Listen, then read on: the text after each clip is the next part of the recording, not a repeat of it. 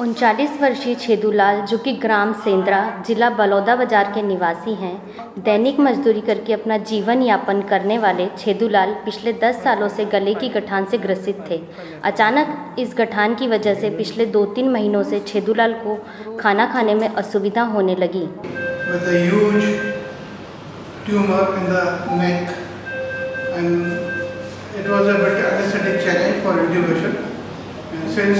The shifted to the right and the larynx was quite narrow because of this opening was quite narrow because of the pressure of the tumor. And uh, we could do it very successfully and the surgery was successful and patient is absolutely fine. That's all. Thank you.